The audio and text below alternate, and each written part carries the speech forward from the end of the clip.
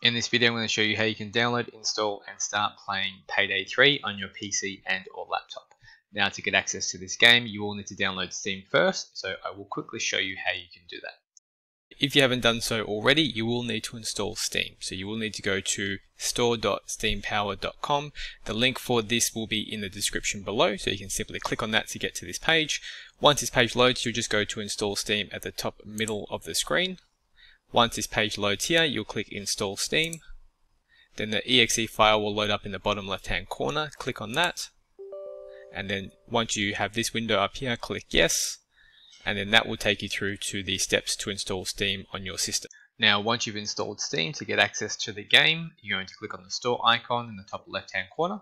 In the search icon over here, you're going to type in the name of the game, Payday 3. Click on the first option that appears. Now, the release date is the 22nd of September. But to get access to it, you would click on Add to Cart. This is the same as a pre-purchase or if you're actually just purchasing the game as per normal.